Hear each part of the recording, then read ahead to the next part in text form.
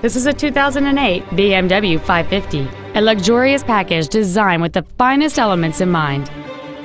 It has a 4.8-liter eight-cylinder engine and an automatic transmission. Its top features include a moonroof, air conditioning with automatic climate control, cruise control, a CD player, interior wood trim accents, alloy wheels, fog lamps, adaptive brake lights, heated side view mirrors, and this vehicle has fewer than 45,000 miles on the odometer. Please call today to reserve this vehicle for a test drive. Texas Auto is located at 16200 Highway 3 in Houston. Our goal is to exceed all of your expectations to ensure that you'll return for future visits.